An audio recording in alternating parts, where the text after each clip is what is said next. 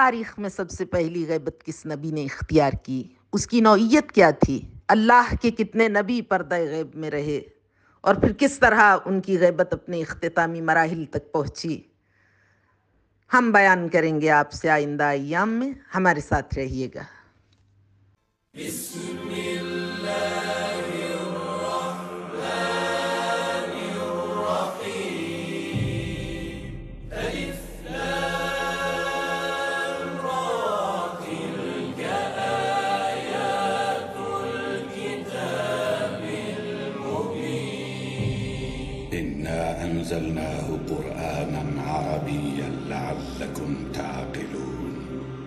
نحن نقص عليك أحسن القصص بما أوحينا إليك هذا القرآن وإن كنت من قبله لمن الغافلين.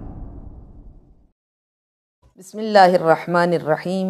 يا أيها الذين آمنوا كتب عليكم الصيام كما كتب على الذين من قبلكم لعلكم تتقون.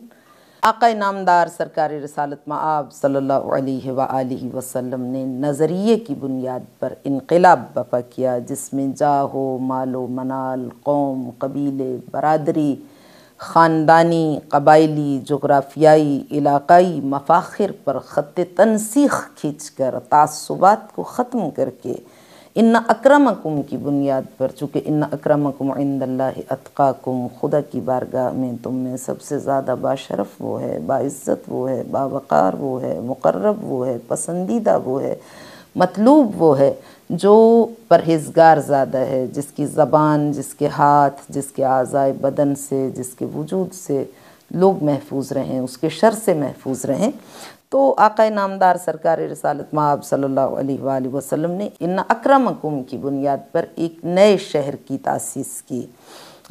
یسرب مدینت النبی، یہ محض ایک شہر کا نام بدلنے کا عمل نہیں تھا، جیسے کیمل پور سے اٹک، جیسے لائل پور سے فیصل آباد، جیسے منکمری سے ساہیوال، جیسے سرحد سے خیبر پختونخوا۔ بلکہ یہ ایک نئی تہذیب، ایک نئے تمدن کی تاسیس۔ اور اس بنیاد پر مدینہ النبی معنوی اعتبار سے کسی مخصوص خطہ زمین میں محدود و منحصر شہر نہ رہا اور جغرافیائی حصاروں کی بندشوں اور علائق سے آزاد شہر، ایک جہانگیر تہذیب کا نمائندہ جہانگیر شہر جسے ایک عالمی تہذیب و ثقافت کی بنیاد اٹھانے کے لیے ایک ماڈل سٹی کے طور پر پیش کیا گیا۔ اس کے ذریعے کلمے کی بنیاد پر رشتہ اخوت قائم و برقرار کیا گیا۔ پرانے رشتے ختم ہونے لگے۔ نئے رشتے مارز وجود میں آنے لگے۔ جو خون کے رشتے تھے، وہ خون کے پیاسے بن گئے۔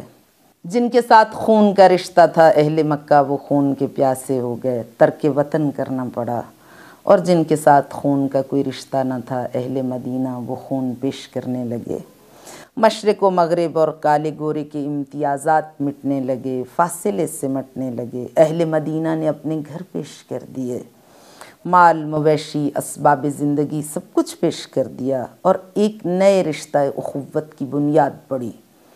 وہ جن سے خون کے رشتوں کی بنیاد پر بھائی چارہ تھا، وہ خون کے پیاسے بن کر تلوار کھینچ کر کھڑے ہو گئے۔ اور ادھر جن کے ساتھ خون کا کوئی رشتہ نہ تھا اور جو کلمہ کی بنیاد پر بھائی بنے تھے اور بھائی چارہ قائم ہوا تھا، وہ ان کے خون کی حفاظت کے لیے، اپنا خون بہانے کے لیے چل نکلے۔ رشتہ داری اور علاقائی و زمینی تعلقات اور رشتوں سے بالتر رشتے۔ یعنی نظریے کی عظمت کا اعلان، نظریے کی بالادستی، ہوا و حوث کے بتوں پر ضرب کاری، جس نے بتایا کہ خدا واحد کی بندگی اور اس کے نظام کے ساتھ جو چیز ٹکرائے، اس سے رخ پھرا لینا اور اسے دل سے نکال دینا ہی اسلام ہے۔ نیا بھائی چارہ قائم کیا، پہلے مکہ میں آ کر، پھر مدینہ میں آ کر، قبیلہ، برادری وغیرہ کی بنیاد پر مارز وجود میں آنے والے طبقاتی امتیازات پر خط تنسیخ کھینچ دیا جبکہ لوگ مال و دولت اور ایسے ہی دوسرے مفاخر کو نبوت کے لیے بھی اتنا ہی ضروری سمجھتے تھے جیسا کہ قرآن کریم کی آیت بھی ہے، جس میں لوگوں نے اعتراض کیا کہ لولا نزل حض القرآن علی علی رجل من القریتین عظیم۔ قرآن اس شخص پہ کیوں نازل نہیں ہوتا؟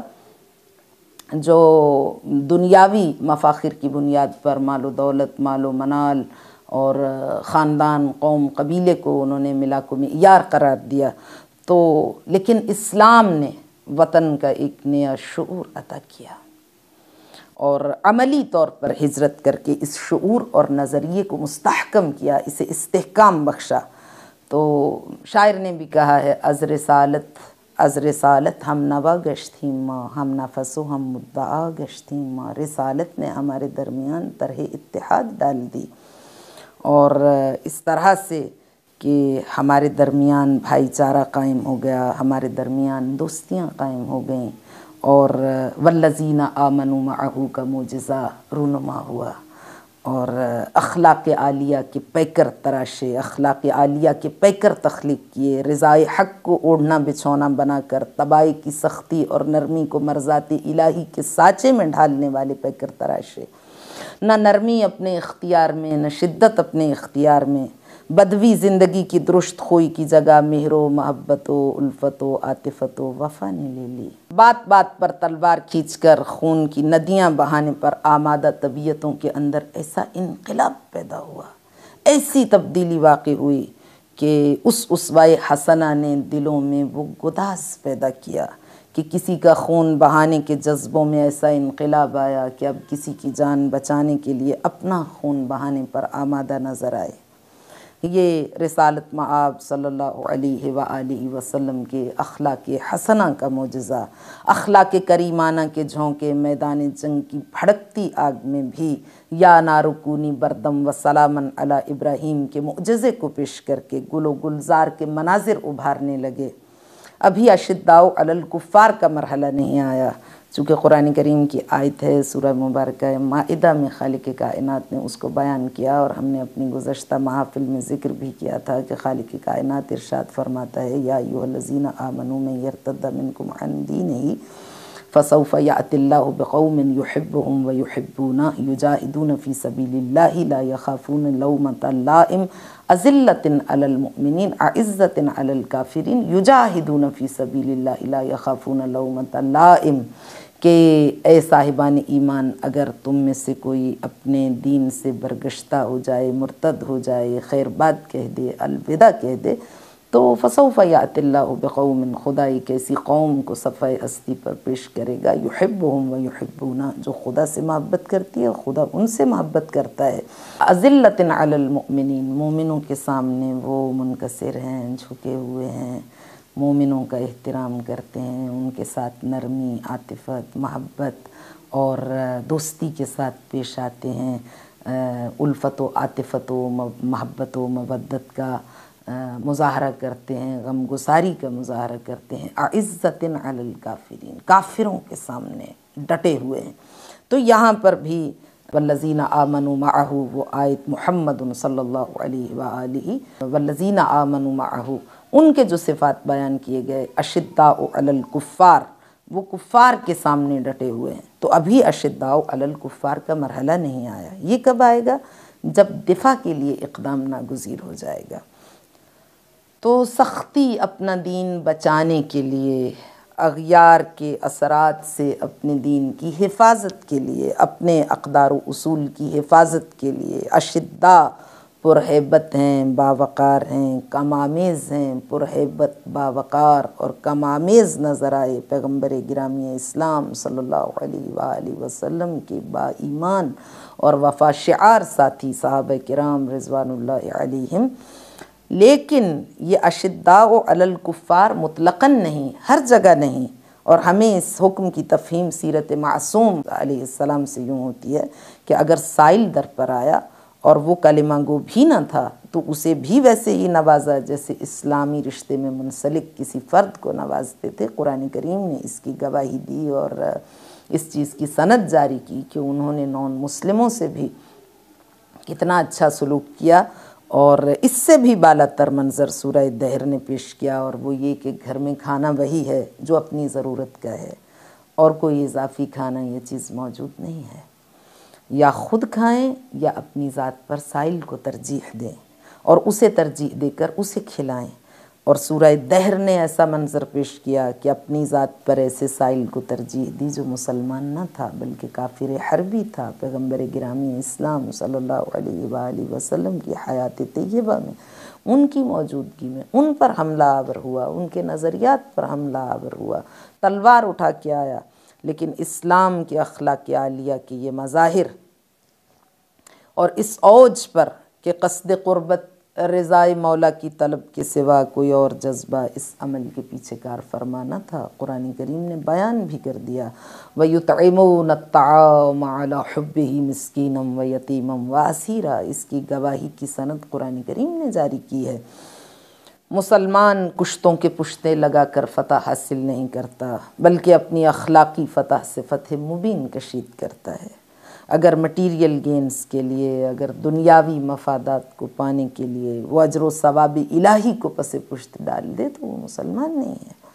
اسی لیے خدا نے قرآن کریم میں یہ ارشاد فرما دیا کہ وہ افراد، وہ کون افراد ہیں؟ یجاہدون فی سبیل اللہ۔ یہاں پہ ورب کی افرمیٹو فارم استعمال کی گئی ہے۔ اس کی کنٹینویشن اور پرولونگیشن کو بیان کیا گیا ہے۔ یعنی تسلسل ہے، دوام ہے، ہمیشگی ہے ان کے عمل میں۔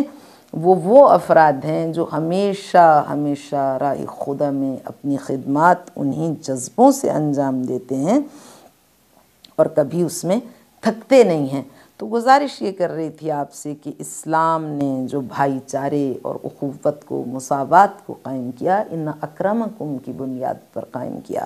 ماہ مبارک رمضان میں ہم جو روزہ رکھتے ہیں، جو عبادت کرتے ہیں، جو ہم تیس دن تک ایک خاص معمول کے مطابق سحری میں اٹھنا اور پھر شام میں افطار کرنا اور سارا دن بھوکے پیاسے رہنا، اس کا ایک فلسفہ ہے جو اسلام نے بیان کیا ہے، اور وہ فلسفہ ضبط نفس کا فلسفہ ہے سیلف کنٹرول کی، جو ٹریننگ اس مہینے میں دی جاتی ہے، جس میں تمہارے اندر دوسروں کے لیے درد پیدا ہو، ہمدردی پیدا ہو، اور اگر اس راستے میں تم مشکل محسوس کرو، اس راستے میں تمہیں یہ راستہ کٹھن لگے تو اسلام نے تمہارے لیے رول ماڈلز قرار دیے۔ وَلَقَدْ كَانَ لَكُمْ فِي رَسُولِ اللَّهِ عُسْوَةٌ حَسَنَةٌ۔ پیغمبر گرامی اسلام صلی اللہ علیہ وآلہ وسلم کی حیات طیبہ میں تمہارے لیے اسوہ حسنہ ہے، وہ تمہارے لیے رول ماڈل ہیں۔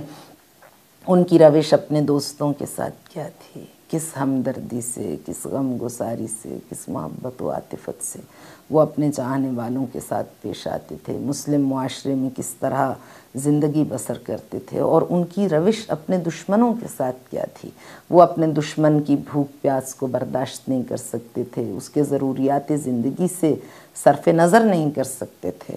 ہمیشہ ہر کسی کی مدد کے لیے تیار رہتے تھے اور مدد کرتے تھے۔ ماہ مبارک رمضان انہی تعلیمات کو زندہ کرنے کے لیے اور وہ سبق جو ہم بھول چکے ہیں، اسے دوبارہ سے یاد دلانے کے لیے، ہمارے خوابیدہ ضمیروں کو بیدار کرنے کے لیے۔ اسلام میں ملا کو معیار عمل کی قبولیت کا تقوی ہے، پرہیزگاری ہے۔ انسان صحیح مسلمان ہو، منزل تسلیم میں ہو۔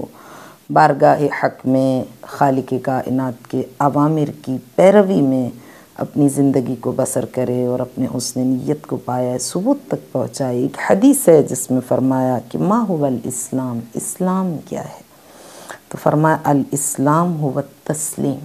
اسلام کا معنی یہ ہے کہ انسان مکمل طور پر تسلیم ہو جائے، سر تسلیم خم کر دے، سراپا تسلیم ہو جائے سیلف سرنڈر کی منزل کو۔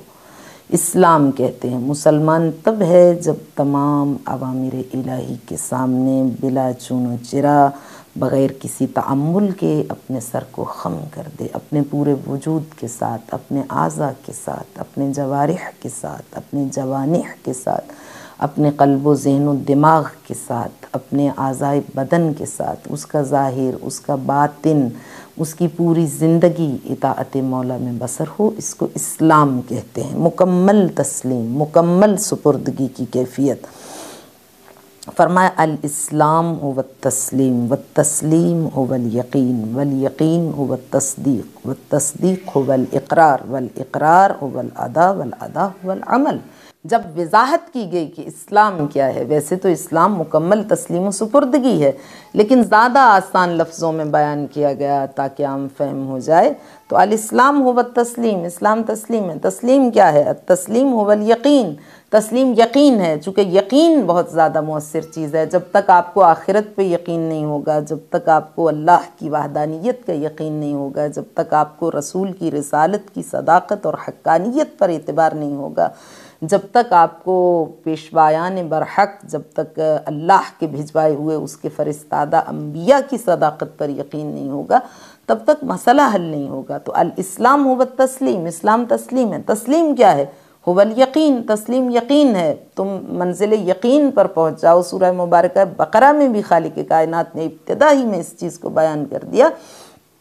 الذین یؤمنون بالغیب، وہ لوگ جو غیب پر ایمان رکھتے ہیں، جہاں فرمایا کہ قرآن کن لوگوں کے لیے ہدایت کا ذریعہ بنتا ہے۔ ویسے شفاء للناس، پوری کائنات انسانیت کے لیے نسخہ شفا ہے، لیکن سرمایہ ہدایت بنتا کن افراد کے لیے؟ ہدل للمتقین، جو باتقوہ ہیں، جو پرہیزگار ہیں، جن کے اندر ایکسیپٹنس کی صلاحیت پائی جاتی ہے، جن کے اندر پذیرائی حق کی پائی جاتی ہے۔ تو وہ کون لوگ ہیں؟ یؤمنون بالغیب، جو غیب پر ایمان رکھتے ہیں۔ وَبِالْآخِرَةِ هُمْ يُوقِنُونَ وہ آخرت پر یقین رکھتے ہیں، چونکہ آخرت پر یقین کے بغیر، عالم برزخ پر یقین کے بغیر، خدا پر یقین کے بغیر۔ یقین ایک ایسی صفت ہے کہ جس کے بغیر انسان کا عمل نہ بارگاہ خدا بندی میں قابل قبول ہے اور نہ ہی اس کے اندر پاکیزگی آ سکتی ہے۔ یقین ہوگا تو وہ پاکیزگیوں کو اپنائے گا۔ تو فرمایا کہ وہ تسلیم ہو والیقین تسلیم یقین ہے۔ والیقین ہو تصدیق اور پھر وہ تصدیق کرے اس بات کی کہ رسول کی رسالت، اللہ کی وحدانیت، اسلام نے جو حقائق بیان کیے ہیں، اسلام نے جو تعلیمات دیے ہیں، وہ سب مبنی بر حق ہیں۔ اور و تصدیق ہو بل اقرار تصدیق کیا ہے؟ تصدیق اقرار ہے۔ اقرار کی دو قسمیں ہیں، اقرار باللسان و اقرار بالعمل۔ اور اس حدیث میں بیان کیا گیا کہ اقرار کیا ہے؟ بل اقرار ہو بل ادا اقرار کا یہ معنی نہیں ہے کہ ہم زبان سے کہتے چلے جائیں کہ لا الہ الا اللہ، محمد الرسول اللہ صلی اللہ علیہ وآلہ وسلم. ہم زبان سے کہیں اللہ ایک ہے، ہم زبان سے کہیں محمد مصطفیٰ صلی اللہ علیہ وآلہ وسلم نبی ختمی المرتبت ہیں، ایک لاکھ چوبیس ہزار انبیاء دنیا میں آئے. بلکہ الاقرار ہو والادا اقرار کا مطلب یہ ہے کہ ادائیگی بھی ہو، فرائض کی. اور ادائیگی کس طرح سے ہو؟ ولادا ہو والعمل عمل کے ذریعے سے ہو۔ زبان سے آپ کہتے رہیں کہ اسلام کے تعلیمات مبنی برحق ہیں، لیکن آپ نماز نہ پڑھیں، آپ روزہ نہ رکھیں، آپ کہیں کہ اخلاق حسنہ بہت اچھی چیز ہے۔ قول للناس حسنہ۔ لوگوں کے ساتھ اچھی بات کرو راہ خدا میں خرچ کرو۔ مثل الزین ينفقون فی سبیل اللہ جو لوگ راہ خدا میں خرچ کرتے ہیں، ان کی مثال یہ ہے، راہ خدا میں خرچ کرو، انفاق کرو، لیکن اپنے ہاتھ کو روک لو۔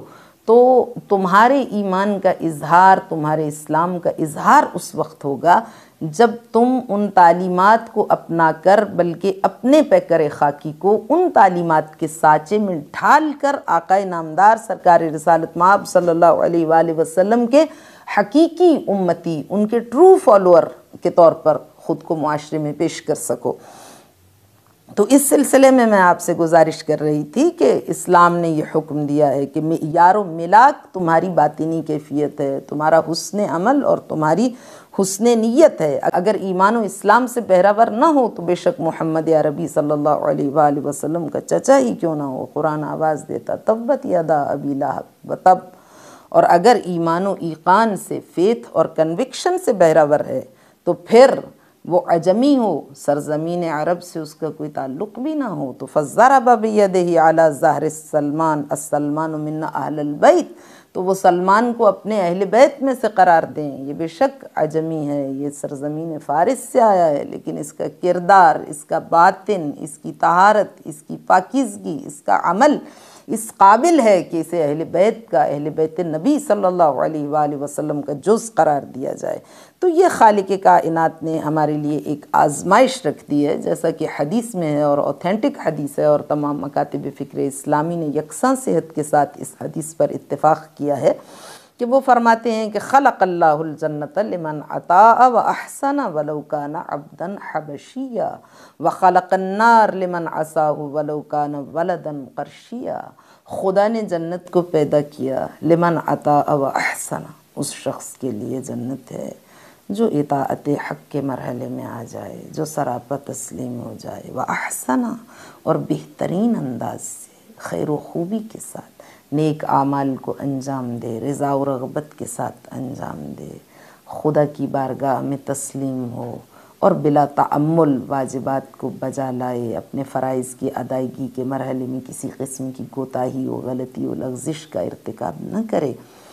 وہ جنت اس کے لیے ہے، خالق اکبر نے اس کے لیے بنائی۔ ولو کانا عبدن حبشیہ بے شک وہ ایک کالا حبشی غلام ہو، جس کی کھال موٹی ہے، جس کا رنگ کالا ہے۔ جس کے جسم سے بدبو آ رہی ہے، جنت اسی کے لیے۔ عبدن حبشیہ۔ بے شک وہ حبشی غلام ہی کیوں نہ ہو وہ آزاد بھی نہ ہو۔ خلق النار، اور خدا نے جہنم کو کس کے لیے پیدا کیا ہے؟ لمن عصاہ ولو کانا ولدن قرشیہ۔ جو اللہ کی نافرمانی کرے، جو معصیت کرے، جو گناہ کرے، جو برائیوں کا ارتکاب کرے، جو نافرمانی مرضی مولا کی سرحد میں داخل ہو جائے جو عوامر الہی کو نظر انداز کر دے، جو سرکشی کرے، جو بغاوت کرے، جو واجب اعمال کی ادائیگی میں کوتاہی کا ارتکاب کرے، یا ان کو نہ مانے، ولو کانا ولدن قرشیہ۔ بے شک وہ خانوادہ قریش سے ہو، وہ سرداروں کے قبیلے سے ہو، وہ خانوادہ رسالت مآب صلی اللہ علیہ وآلہ وسلم سے کہیں سے تعلق رکھتا ہو۔ لیکن خالق کائنات اس کے ساتھ رعایت نہیں کرے گا، جیسا کہ قرآن مجید میں سورہ مبارکہ مومنون کی آیت نمبر غالباً سو ہے، جس میں ارشاد فرما، فلا انصاب بینہم یوم اذن ولا یتساءلون۔ قیامت میں کوئی نسبت، کوئی رشتہ تمہیں فائدہ نہ پہنچائے گا۔ اگر کوئی چیز فائدہ رساں ہوگی تو وہ کیا ہے؟ ان اکرمکم عند اللہ اتقاکم تمہارے اندر کی پاکیزگی ہے، تمہارے اندر کی طہارت ہے، تمہارا کردار ہے، تمہارا عمل ہے، تمہاری وہ شخصیت ہے جو کردار و عمل نے مل کے تشکیل دی ہے، تعمیر کی ہے۔ وہ شخصیت جو تم اطاعت الہی کے جادے پر گامزن ہو کے اپنی متعارف کراتے ہو اور اپنے حسن حسن نیت کو حسن عمل کے ذریعے پایا ثبوت تک پہنچاتے ہو۔ وہ خالق کائنات کی بارگاہ میں پسندیدہ اور مطلوب ہے۔ اس کے ذریعے تم جنت میں جاؤ گے۔ کسی خاندان، کسی قوم، کسی قبیلے، کسی برادری، کسی مال و منال و جاہ و جلال و شان و شوکت و جاہ و حشم کے ذریعے سے نہیں بلکہ یہ کہ جتنا تم میں انکسار ہوگا، جتنا توازو ہوگا، جتنا تعلیمات الہی کو تم اہمیت دو گے اور پیغمبر گرامی اسلام صلی اللہ علیہ وآلہ وسلم کے فرامین کی عظمت کے قائل ہوگے اسی تناسب سے خالق کائنات تمہارے درجات کو اپنی بارگاہ میں بلند کرے گا اور تمہارے اعمال اسی تناسب سے بارگاہ خدا بندی میں قابل قبول قرار پائیں گے۔ تو ہم آپ سے گزارش کر رہے تھے کہ پیغمبر گرامی اسلام صلی اللہ علیہ وآلہ وسلم نے نظریے کی بنیاد پر ایک انقلاب بپا کیا جو عالمی انقلاب بن گیا۔ پیغمبر گرامی اسلام صلی اللہ علیہ وآلہ وسلم نے اس ماڈل سٹی کی بنیاد ڈالی اور خالق اکبر نے قرآن کریم میں بار بار یہ فرما دیا کہ مجھے جیسا کہ میں نے گزارش کیا کہ ہم نے سورہ مبارکہ معاہدہ کی آیت بھی آپ کے سامنے پیش کی یا ایو الذین آمنوا من یرتد منکم عن دینہ فسوف یات اللہ بقوم یحبون ویحبون اذلۃ علی المؤمنین اعزۃ علی الکافرین یجاہدون فی سبیل اللہ۔ لا یخافون لومت لائم اور پھر سورہ مبارکہ نساء کی آیت میں بھی ملتا جلتا خطاب کیا ہے یات اللہ بقوم یحبون ویحبون جیسا کہ سورہ معاہدہ میں ارشاد فرمایا۔ پھر سورہ مبارکہ ابراہیم کی آیت نمبر نائنٹینتھ ہے انیسویں آیت ہے، جس میں فرما ان یشا یذہبکم ویات بخلق جدید۔ خالق اکبر اگر چاہے تو تمہیں صفائی ہستی سے نیست و نابود کر دے۔ اگر چاہے تو تمہیں مٹا دے اور ایک نئی قوم کو صفائی ہستی پہ پیش کر دے۔ یا سورہ مبارکہ محمد صلی اللہ علیہ وآلہ وسلم کی چھتیسویں آیت میں خالق کائنات ارشاد فرماتا ہے، ہا انتم ہا اولائی تدعون لتنفقوا فی سبیل اللہ۔ فمن فمنکم من یبخل ومن یبخل فانما یبخل عن نفسه واللہ الغنی وانتم الفقراء وان تتولوا تستبدل قوما غیرکم ثم لا یکون امثالکم خدا قرآن میں بڑا ہی یہ سنسنی خیز خطاب ہے ہا انتم ہا اولائی تدعون لتنفقوا فی سبیل اللہ تمہیں پکارا جاتا ہے راہ خدا میں خرچ کرنے کے لیے فمن کم میں ابخل تم میں سے بعض لوگ ہیں جو بخل کا مظاہرہ کرتے ہیں کم ظرفی اور تنگ نظری کا مظاہرہ کرتے ہیں۔ ہمارے ہی دیے ہوئے رزق میں سے راہ خدا میں خرچ کرنے کی ان میں ہمت نہیں ہوتی۔ کتنا بدبخت ہے وہ انسان کہ اس کا رازق خدا ہے، اس کا روزی رساں خدا ہے۔ خدا اس کو ہر لمحے رزق عطا کرتا ہے۔ اور وہ خالق کائنات کی مخلوق پر خرچ کرنے سے، اسی کے حکم کی پیروی میں اس کی مخلوق پر خرچ کرنے سے پہلو تہی کرتا ہے، بہانے تراشتا۔ فمن کم میں اب خلف نم اب خلو سے خدا قرآن میں فرماتا فمئی ابخل اور جس نے بخل کا مظاہرہ کیا، اس نے اپنے ہی لیے بخل کا مظاہرہ کیا۔ اس لیے کہ جو اس نے دنیا میں خرچ کیا وہ قدموا لانفسکم کا مصداق ہے۔ یعنی تم راہ خدا میں جو خرچ کرو گے، وہ آخرت میں تمہیں پہلے سے تیار ملے گا۔ گویا تم آگے بھیجوا رہے ہو۔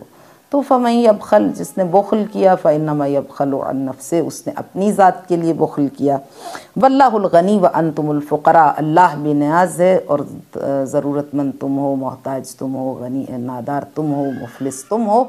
اور پھر خدا فرماتا ان تتولو یستبدل قوما غیرکم ثم لا یکون امثالکم۔ اور پھر خدا ایک نئی قوم کو صفائی ہستی پر پیش کر دے گا۔ تو یہ ہم آپ سے بیان کرنا چاہتے تھے کہ خدا نے قرآن کریم میں بہت سے مقامات پر کہا ہے، اس کو تمہاری ضرورت نہیں ہے۔ اگر متی و فرما بردار بندے بن جاؤ گے تو بارگاہ خدا بندی میں فرشتوں سے زیادہ مقام حاصل کر لو گے۔ اور اگر نافرمانی کرو گے تو اسے تمہاری ضرورت نہیں ہے۔ انشاءاللہ کل ہم پھر آپ کی خدمت میں حاضر ہوں گے۔ اپنا بہت خیال رکھیے گا۔ والسلام علیکم وما علینا الا البلاغ۔ آخر میں روزانہ کی طرح ایک انتہائی مجرب اور آزمودہ عمل پیش خدمت ہے۔ جان لیوا بیماریوں سے نبردازمہ ہونے کے لیے، عظیم الشان کامیابیوں کو پانے کے لیے، بڑی بڑی مہمات کو سر کرنے کے لیے دشوار گزار ترین مراحل سے گزرنے کے لیے، مشکلات پر قابو پانے کے لیے اگر روزانہ ایک مرتبہ چالیس روز تک مسلسل سورہ مبارکہ حشر کو صحیح پروننسیشن کے ساتھ تلاوت کیا جائے، تو نہ صرف یہ کہ عظیم الشان کامیابیاں انسان کے شامل حل ہوتی ہیں اور وہ بڑے بڑے مسائل سے نجات پا سکتا ہے، ناممکنات ممکنات میں بدل سکتے ہیں، بلکہ اس کی کبھی کوئی دعا رد نہیں ہوتی اور وہ مستجاب الدعوہ بن جاتا ہے۔ اللہم عجل ولیک الفرج. السلام علیکہ یا ابا عبداللہ. وعلى الارواح التي حلت بفنائك عليك مني سلام الله ابدا. ما بقيت وبقي الليل والنهار